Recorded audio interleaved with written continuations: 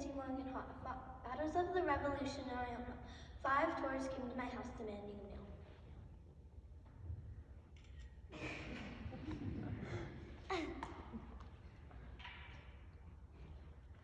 I tricked them by giving them drinks and started taking my musket, their muskets. When they discovered my plan, I held them at gunpoint. And I sent my daughter to go get help to take away my prisoners.